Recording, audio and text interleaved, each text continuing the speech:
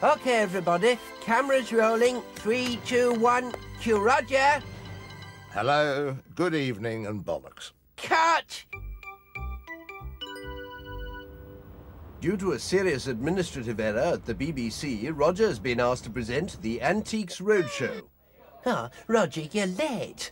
I thought you weren't going to make it. Sorry, Tom, there's some sort of fucking jumble sale going on outside. You can hardly move out there. No, Roger. That's all part of the programme. People bring their antiques along for us to look at. But what about the bands? Where do we fit them in? It's not that kind of roadshow. This is an antiques roadshow. Ah.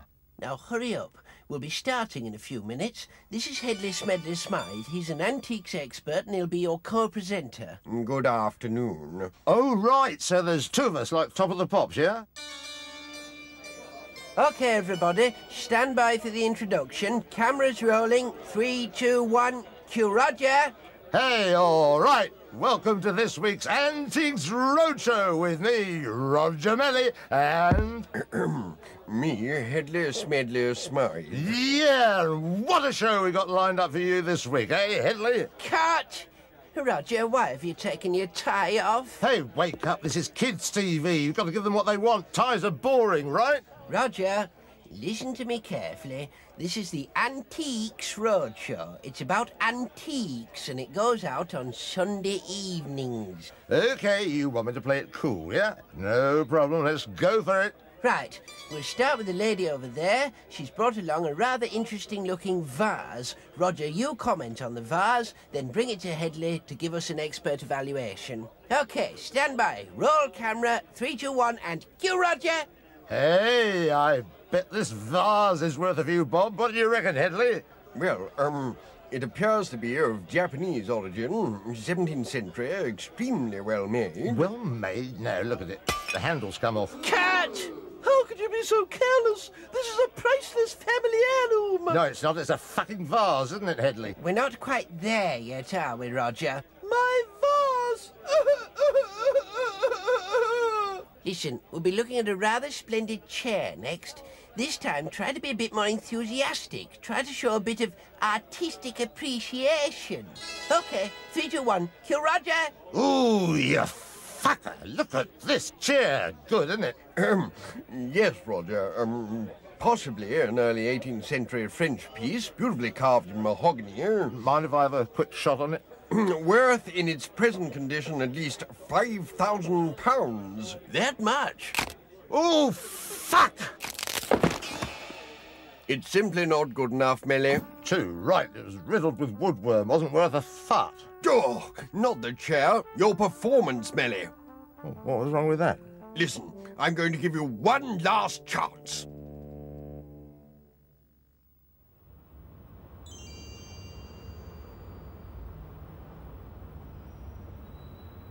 Okay, Roger, let's roll. Okay, Tom. Action. Hello, little boy. Do you want to see some puppies? Um, cut! Is there a problem, Tom? It's that line about the puppies, Roger. It doesn't sound quite right, does it? Now, let's make it sound a bit more, um, jolly, you know. How about something like, uh, let's go and say hello to our puppies, yeah? Yeah, yeah, I like that. Uh, a bit more friendly, right? Uh, hey, fucking hell, let's go see some puppies, yeah? No, no, not quite, Roger. Something without the four-letter word might be best. Let's have one more try before lunch, yeah? Places, everybody. Nervous, Sonny? Don't be. I'm a pro. I do this every day. Three, two, one, action! Hey, kids, let's have a look and see how the Blue Roger puppies are doing today, eh? Oh, yes. That's good, that's good. Oh, my. Haven't they grown a lot since we last saw them? Hmm, can I hold one? Yeah, yeah, of course. Hey, look at this. This one's got a little penis here. Good grief. Look at it. Can you see that on camera? Cut! Roger, the producer wants to see you in her office right away. Cheers, Tom. I'll pop up in a second. For God's sake, what's the matter with you, Mellie? I've never seen such a display of vulgar, crude, unprofessional misconduct in my whole career. You're not fit to sweep the studio floor, never mind present a children's TV program. You're disgusting. You're fired, and I hope I never see your face on TV again. Sorry about your job, Roger. Ah, forget it, Tom. It's all in the game. That's show business. I'm a professional. Life goes on. Actually, I was thinking of moving on soon anyway. But the series hadn't even started yet. No, Tom, quit while you're ahead. Never let the grass grow under your feet. I've got my own plans. I've written a new show, new format, a game show. Can't go wrong. A game show, eh?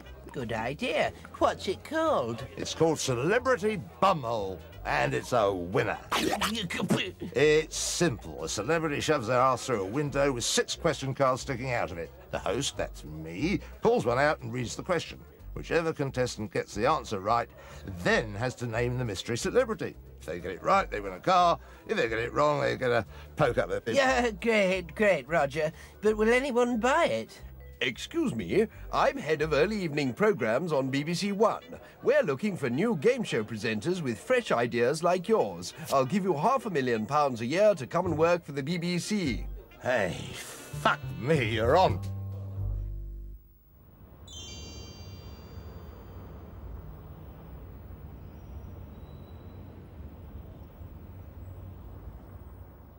Okay, Roger. Just remember to start off with a joke or two, just like Des Dawson does. Okay, are you ready? Ready when you are, Tom. Good. We'll be rolling in five seconds. Three, two, one, action! Cue, Roger!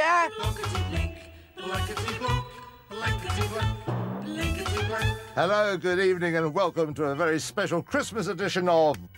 Wait for it, Blinkety Blank. Hey, my mother in law, she's a right fucking bitch. Enough of that.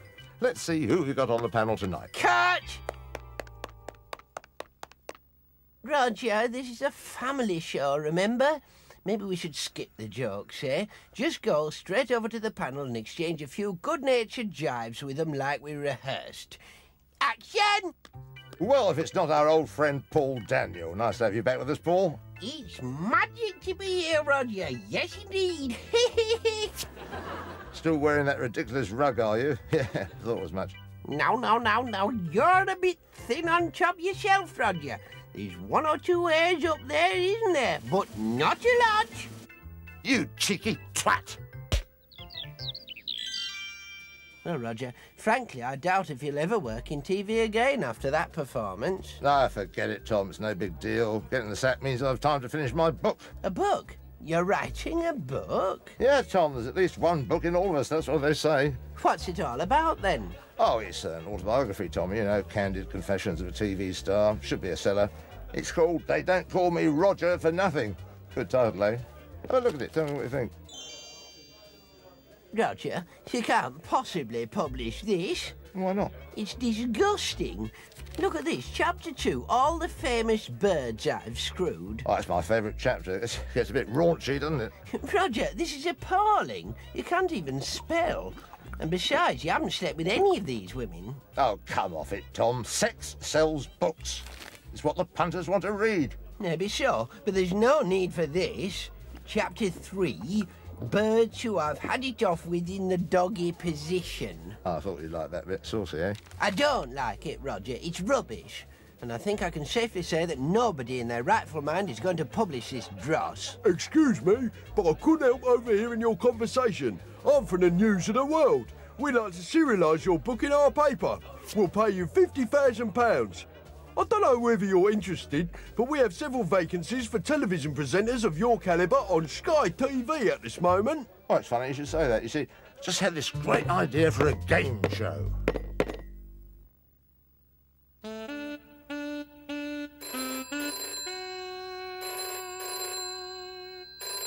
Who the fuck's that? Don't you know what day it is? Roger, it's me, Tom. Have you forgotten? You're supposed to be taking part in Fulchester TV's first celebrity golf tournament today. You should have been here at the golf club over an hour ago. Who is it, Roger?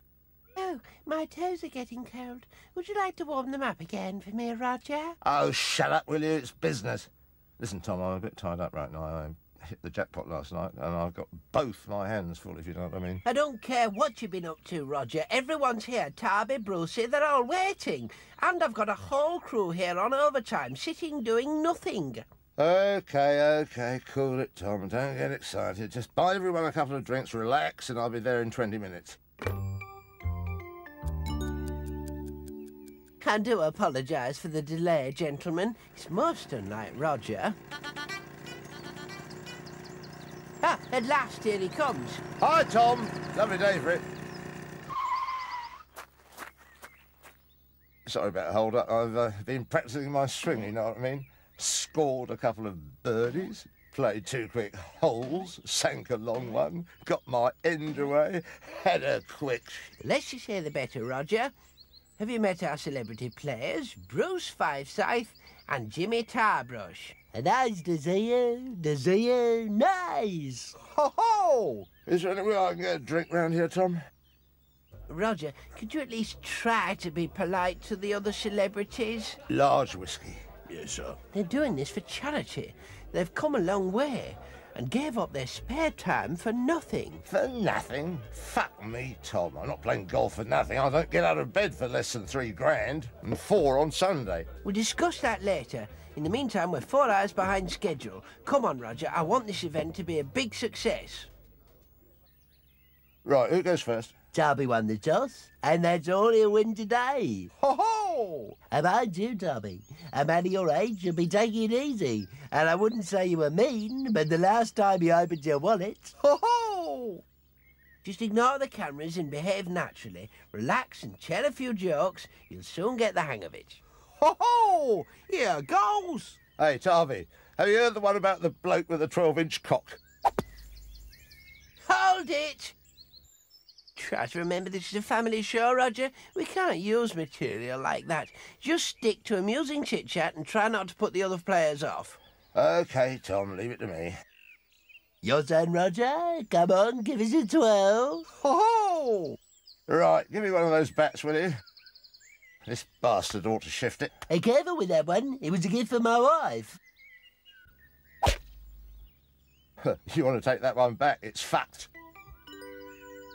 I think I'll use a seven iron from here, Tubby. Or maybe a six. I can see the pin. You can see the pin? Ho ho! I wonder what was keeping your trousers up. Has anyone seen my bastard ball? My wife's so ugly, etc., etc., etc. Hey, Tom, I'm bursting to use the bog. Is it okay if I... No, Roger. You can't leave while we're recording. Wait till you get back to the clubhouse. Oops, too far to the right. I'm in the bunker. You're worse than Hitler, you are. Ho ho! He was always going in bunkers. You should have brought a bucket and spade, Brucey. Hey, Jimmy Bear. Hold on a minute, will you? I'm just having a dump. Good shot, Brucey. You had a very tricky lie there. Ho ho! Ho ho! Who's patting first? Me, my ball's nearest. No, Roger, that's my ball. Oh, fuck off, right? It's my ball. I'm taking that one again. You put me off. Hooray! Got the bastard. Right, I've won. Last one to the bars are queer. Roger, that was the first hole. There's another 17 still to play. What? Oh, sod that. I'm off. See you in the bar.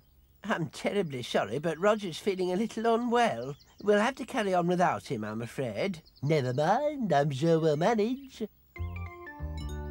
Congratulations, Brucey. The best man lost. Ho ho! But well done anyway. No, honest, it was a good game, etc. Right, that's it. Uh, I'll go and see if I can find Roger. Roger, we're finished. I really think you ought to congratulate the winner and try to make up for your earlier behaviour. Cheers, Tom. I'll, I'll be right with you. Unless we make a good impression, stars like Brucey won't come to future events. Come on then, Roger. I don't want Brucey to leave here with a bad impression of Fulchester TV. On behalf of FTV, many congratulations on your win, Mr. Five Fivesyth. It was a good game, good game. And we've helped raise enough money to buy another bus for the underprivileged kids or something. Hey, Brucey, what, can I say? You, you've done fucking marvellous winning, winning that, and Yeah, honestly, you really have. Cheers. Uh, well, um, thank you. Come on, hey.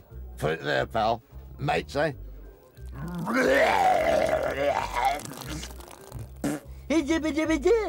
I make sure you never work in TV again. TV again, I'll make sure you never work in.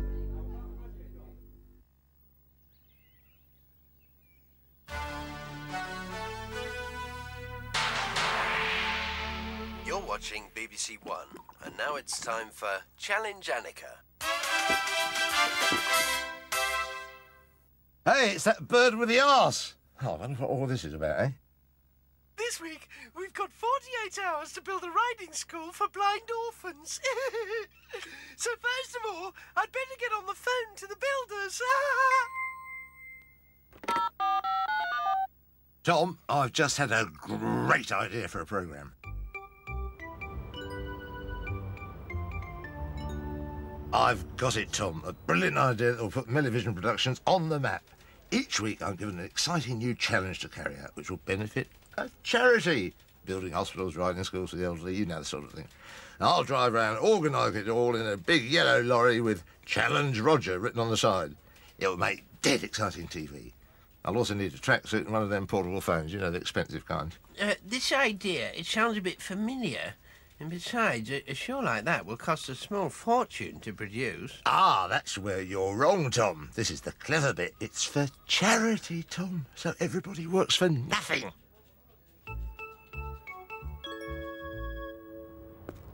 We all set, Roger? We've got the camera. Where's the lorry? This here, it's not as big as I'd have liked, but it'll do the job, I suppose. So, um, what's the programme going to be about then, Roger? Yeah, I'll, I'll show you the plans. We've got to build a swimming pool in just 24 hours. That certainly will be a challenge.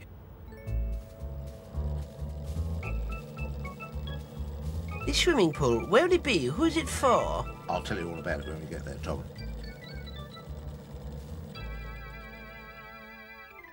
Right, here we are. Roger, this place looks familiar. The swimming pool will be going here. But Roger, this is your house. Yeah, but the pool is for charity, Tom. See, the kids and the old folks will be able to use it sometimes, and... Oh, anyway, let's get on with it, shall we? We've only got 24 hours, remember? Okay, Roger. When you are. Hello, and welcome to Challenge Roger. And what a challenge we've got this week. Somehow or other, we've got to transform this shabby-looking lawn into a luxury swimming pool in just 24 hours. And, of course, it's all for the kids and the old folks. First, I'll have to get on the phone and try and sort out a builder or something.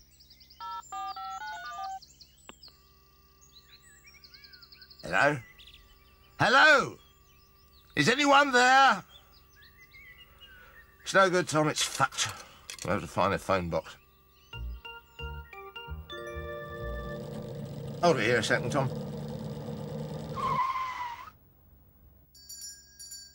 Hi, I'm a television celebrity called Roger Mellie, and we're busy filming a show called Challenge Roger. Really? Yeah, we've uh, just got under 24 hours to build a swimming pool for the kids and the old folks, and we need your help.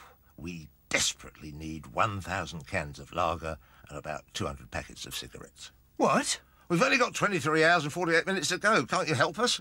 Well, I can sell you them, but it'll cost you a small fortune. Sell them, you tight-ass git. This is a charity show. You're going to look a right shitbag when this is on the telly. You just wait. Come on, Roger, just leave it, eh? I'll ruin you, you miserable old sod. Oh, we found a phone at last. Now to find a builder. Oh, here we are, Murphy J. Builder. Give him a ring. Let's hope there's someone in. We've only got 22 hours and five minutes left. Hello? Murphy's Builders? Hello? Hello! Oh, fuck! Have you got 10 pence apiece, Tom? Hurry up, will you? The pips are going. Well, here we are back at the site with Mr. Murphy, who is somehow going to build us a swimming pool in just 18 hours, because that's all the time we have left. My, this is exciting. Come on, Tom, let's leave him to it, eh? I'm nipping down to the pub for a few jars. We'll pop back later and see how he's getting on. Oh, hi. We're, we're filming uh, Challenge Roger, a new charity TV show, and we're building a swimming pool for the kids. Can we have a couple of pints of lager and two double whiskies? You will mention the name of my pub on the telly, won't you? Oh, yeah, no, no problem. Great! The drinks are on the house. Well, only two minutes left. Let's see. Let's see how he's doing. Well, Mr. Murphy, less than a minute to go. Uh, How's it going then? Ah, well, I've just about finished, so I have to be sure. Hey, fucking hell, Tom. Look at this. It's just what I've always wanted. Brilliant, eh? I do hope the kids will like it, so I do.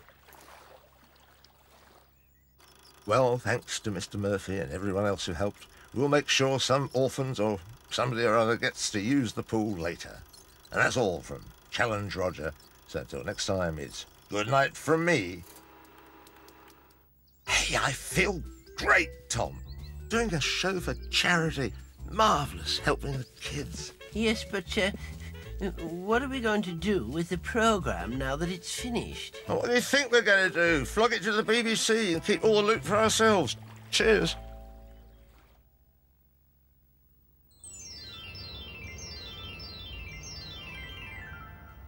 Challenge Roger's been such a success, FTV would like you to do another show. Well, I've got a great idea for a new show, and it's dirt cheap. Yes? All we need is a pack of cards, a box of laxatives, and a bird with big tits. Forget it, Roger. I've already got something in mind for you to do this week. Roger Crook has been beaten up again while filming his hard-hitting, no-nonsense investigative documentary show, The Crook Report. So we want you to take over. The Crook Report. Brilliant. Let's get started right away. Now, before you rush into this, Roger, remember this is investigative TV journalism.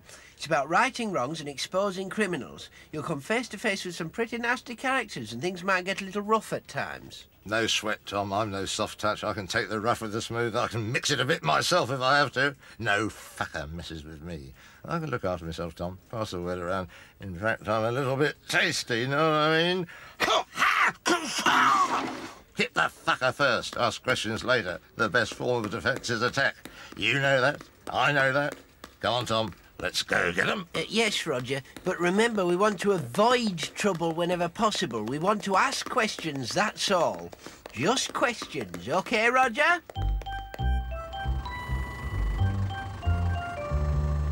Right, Roger. We're investigating the slum landlord who owns this building. I want you to go in, take a look around, and interview a few of the tenants. Okay, Tom, here we go. I'll lead the way.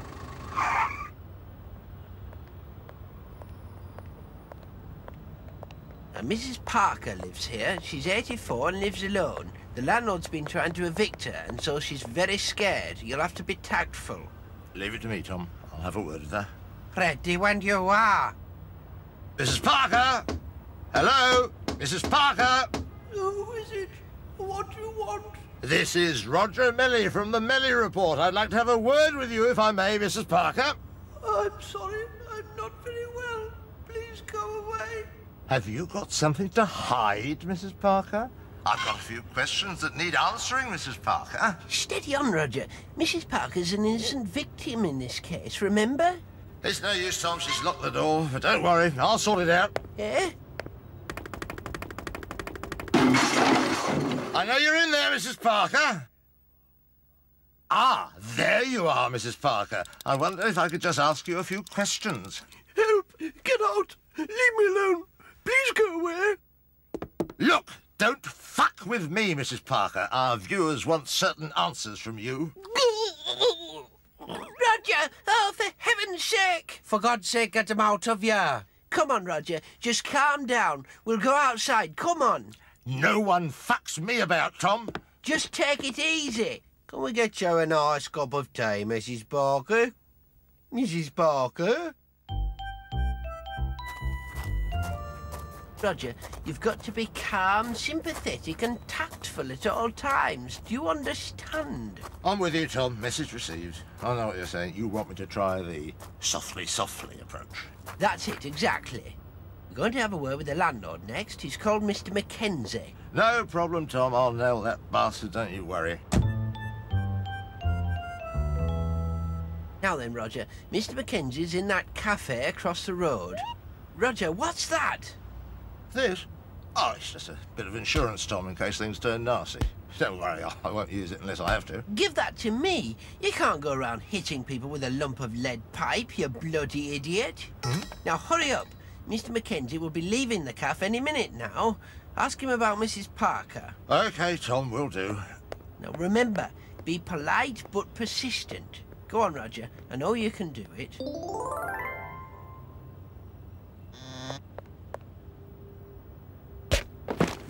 I got the bastard, Tom. That's not the landlord. That's Mr. Mackenzie over there. Oi! I want a word with you. What is it? We're from the Mellie Report, and we'd like to ask you a few questions about a certain Mrs. Parker, if we may. Does that name mean anything to you, Mr. Mackenzie? Parker? No, I don't recall anyone by that name. Well, perhaps I can refresh your memory, Mr. Mackenzie. You've been trying to evict Mrs. Parker from her flat. I've seen that flat, and frankly, I don't think it's fit for human habitation. Would you live there, Mr. Mackenzie? Sorry, I have no comment. Uh, you'll have to talk to my solicitor. It's a pity your tenants can't afford solicitors, isn't it, Mr. Mackenzie? Ah, look, Mr. Mackenzie, it's the police. Perhaps you'd rather talk to them. I dare say you'll be living in pretty squalid conditions yourself from now on, Mr. Mackenzie. In prison. Okay, boys, he's all yours. Take him away.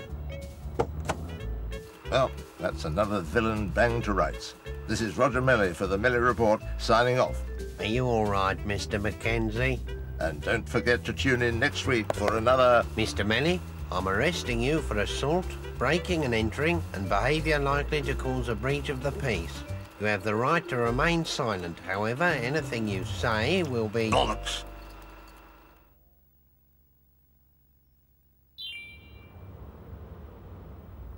Fucking hell, Tom. 250 quid fine. I was only doing my job. It's a bloody police state, that's what it is. Never mind that now, Roger. Are you familiar with Whose Line Is It Now? Um. The improvisational comedy show for highbrow people. Oh, yeah, that's the one where that baldy bastard rings a bell and everyone has to say a word and then guess what his job is, something like that. No, no, no, Roger. You're thinking of something else.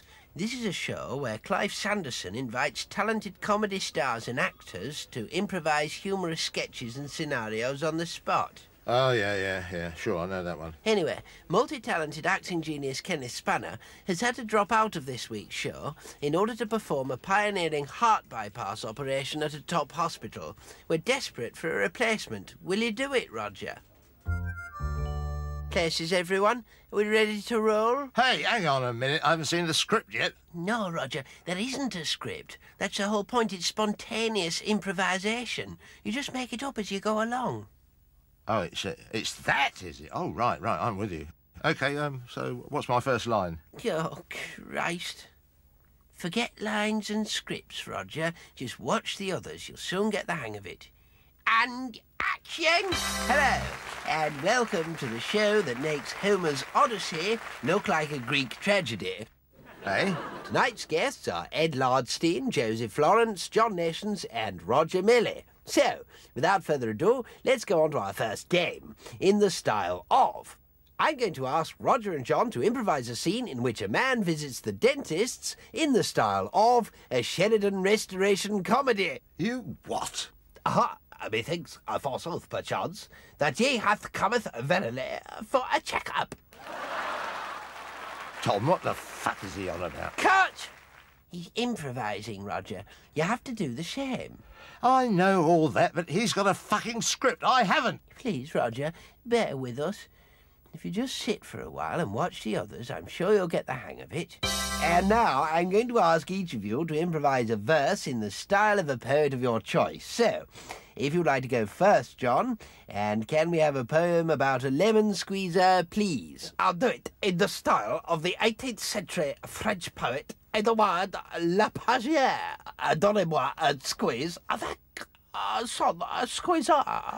Yes, well worth 50 points there. Now we'll make it a 100. Right, Roger, your turn. I'd like you to draw a poem about changing a light bulb in the style of a poet of your choice. When you're ready.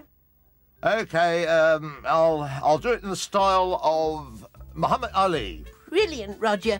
Oh, great choice. I knew you'd get the hang of it eventually. Float like a butterfly, sting like a bee. Take that, you little Scottish twat. His name is Roger Mellie. He's the man on the telly.